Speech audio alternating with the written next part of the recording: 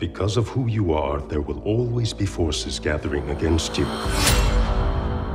Disguised as a friend, slipping past you as a stranger.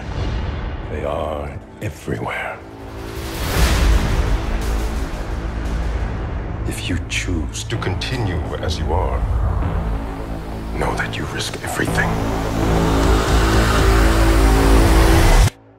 It's time. Child touched by fire, destined to be our greatest warrior.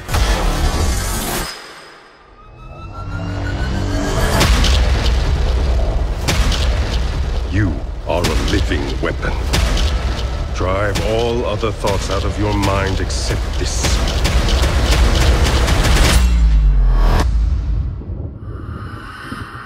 This is my purpose.